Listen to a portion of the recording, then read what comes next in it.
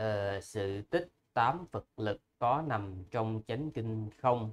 Trong tám sự tích Phật lực, sự tích Phật lực thứ nhì, Đức Thế Đức Phật cảm thắng dạ xoa a la quá cá có 8 câu hỏi dạ xoa a la quá cá đã được Đức Phật trả lời. Con có thắc mắc như nội dung như sau. Đầu tiên là tám Phật lực này đó uh,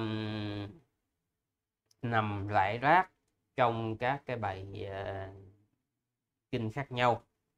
Ví dụ như cái đoạn mà Đức Thế Tôn cảm thắng ma vương nó nằm ở trong tạng luật và nằm ở trong tương ưng.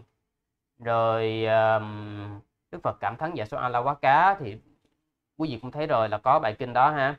Đức Phật cảm thắng uh, Nalagiri là cũng có kinh. Hình như xin nhớ không lầm là trong tương ưng có rồi trong tạng luật cũng có cái phần mà đề bà đạt đa mà hại thế tôn á có.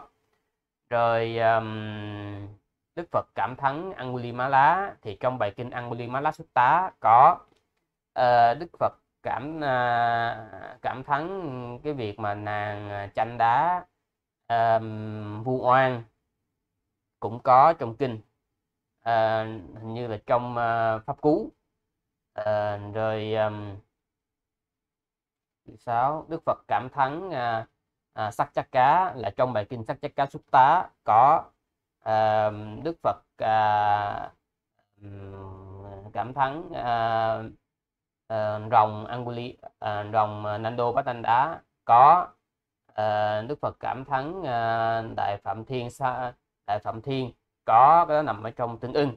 À, thì nó có hết à, chẳng qua là các ngài đưa ra 8 cái trường hợp cụ thể 8 trường hợp cụ thể rồi các ngài ờ, các cái ờ, các ngài đó gom lại thành ờ, một cái bài kinh tóm tắt 8 Phật lực.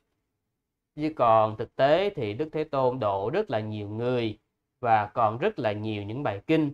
À, nhưng mà các ngài các vị trưởng lão đó các ngài gom ra 8 trường hợp cụ thể thôi.